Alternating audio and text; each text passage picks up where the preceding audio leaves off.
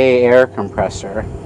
And pretty soon I'm going to get a new tire on the uh, on the trailer here and haul this home and continue working on it.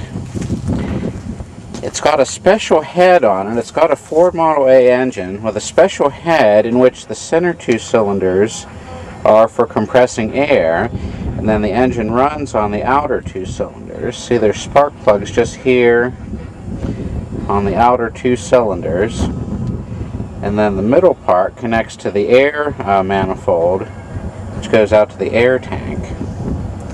Here's the distributor. Only the outside two uh, cylinders are hooked up.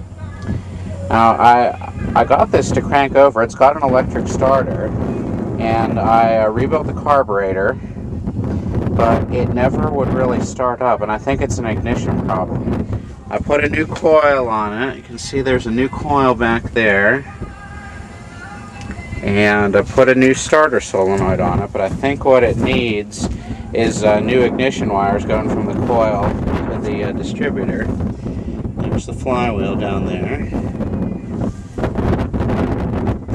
There's the new starter uh, solenoid.